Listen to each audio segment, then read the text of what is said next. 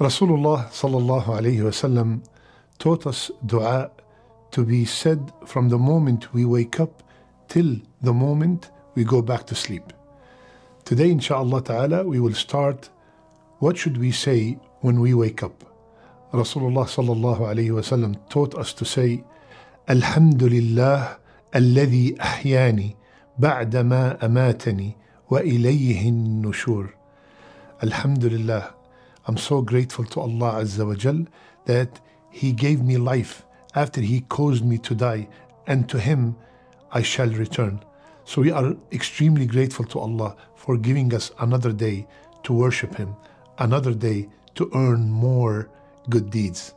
Why are you quiet? Go ahead and try it.